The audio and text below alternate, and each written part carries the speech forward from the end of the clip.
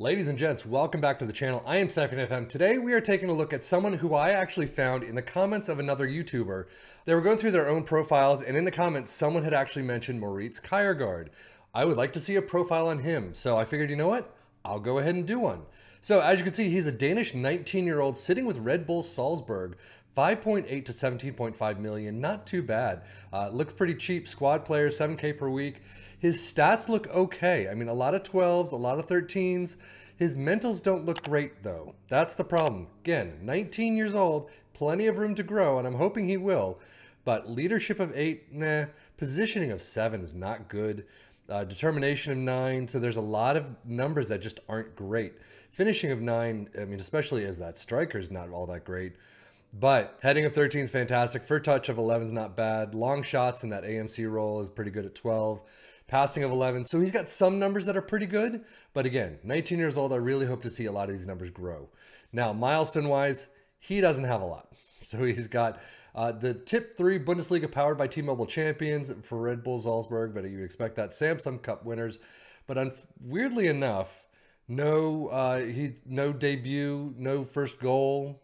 I don't know what that's all about. I still don't understand how that factors in to some of these teams or some of these players when you know the stats come come into the system. But we're going to skip ahead 10 years and see how he does.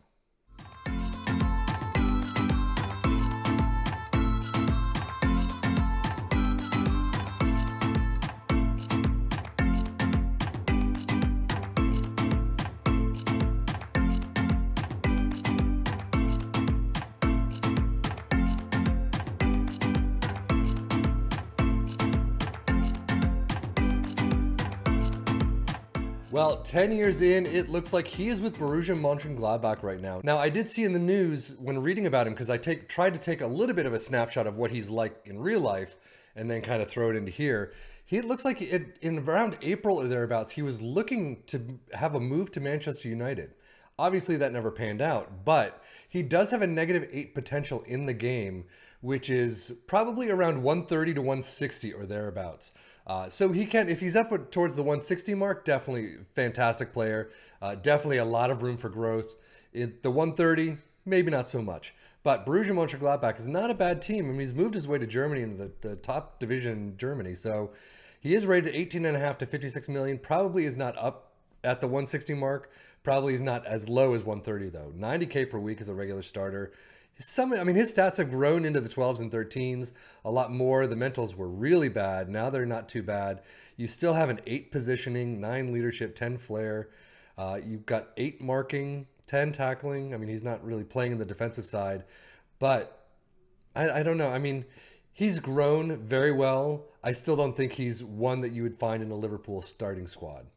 Career stats, though, you could see he started out in Denmark at Lyngby BK, moving on to Liefering for 2.4 in Austria, off to Red Bull Salzburg, back to Liefering, and back and forth. It looks like he was loaned out in the 24-25 season in Newcastle and then picked up in that season for 13 and a quarter.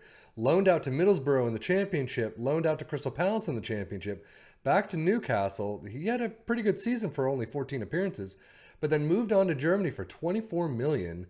Uh, I won't say he's been lighting things up in Germany, but I mean, he's a pretty solid average player. 6'8's not too bad. Milestone wise, seasonal best 11s all around, but first international cap against Saudi Arabia at 22, and then the ones we've already seen. So, really, nothing new. Injury wise, he's got a bunch, but they are all slight. So, if he's going to get one, uh, a couple moderates, a couple days, a couple weeks. So, uh, most likely it's not going to be too bad, but you ever now and again, you might get a, a little bit of a doozy. Tactically, he has been played mostly as an AMC, actually only as an AMC uh, role this season. 37 for club, 11 goals, 11 or 3 assists, 6 9. Not too bad again on the average side. Uh, he's probably a solid player, kind of like a Milner who does a good job, but he's not going to be lighting things up in the league. Um, he's going to be doing going in, does what he needs to, and then kind of comes off the pitch as kind of the the guy you forget he's even on the pitch. But internationally, two in the right midfield, six in the center, one on the left, one is a striker. Uh, he's, I mean, not enough to really go on, but midfield center, six to six, six, seven, eh. But overall, I mean, still not a bad career. Acceleration and pace are there. I, I didn't even notice that. Uh, so his physicals are fantastic. It's everything else that's kind of on the iffy side. But again, probably good enough for a squad player in most teams. Um, starters in the, the mid table to lower table teams, definitely, I would say. But we're going to skip ahead to when he retires and see how that ends up. Well, it is 2039 in June, and this is when he apparently retires at the age of 35. He, you can see right there, 629.39, expires in 18 days.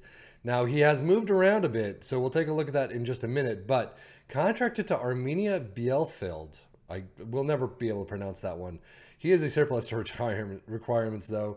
Uh, it's he was playing in the under 19s, is what I saw. Yep, the under 19s right there.